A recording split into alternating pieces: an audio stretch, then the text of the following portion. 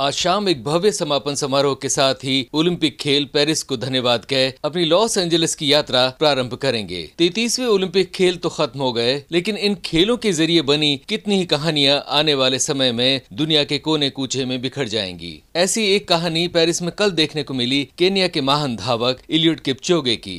Kipchoge वे athlete हैं, जिन्होंने सबसे पहले लगभग दो घंटों में मैराथन दौड़ ली थी।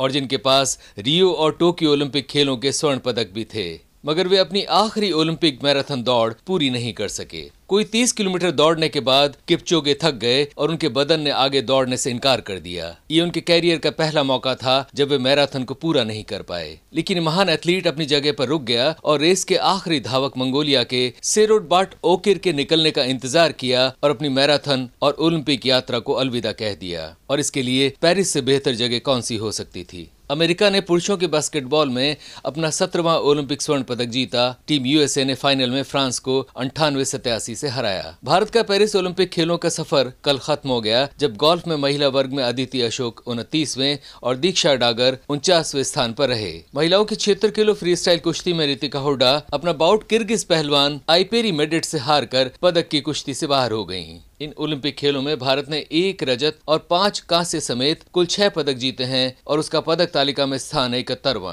कुछ मुकाबले आज होंगे, लेकिन कल तक चीन उनचालीस स्वर्ण सत्ताईस रजत और चौबीस कांस्य, यानी कुल नब्बे पदकों के साथ पदक तालिका में शीर्ष पर बना हुआ था। उसके ठीक पीछे है संयुक्त राज्य अमेरिका, जिसके खिलाड़ियों ने जीते हैं अड़तीस स्वर्ण और बयालीस रजत और इतने ही कांस्य। अमेरिका के कुल पदक है एक सौ बाईस। मेजबान फ्रांस है, पाँचवें स्थान पर सोलह स्वर्ण, चौबीस रजत और बाईस कांस्य, यानी कुल बासठ पदकों के साथ। पेरिस से आकाशवाणी के लिए मैं महेंद्र सिंह लालस।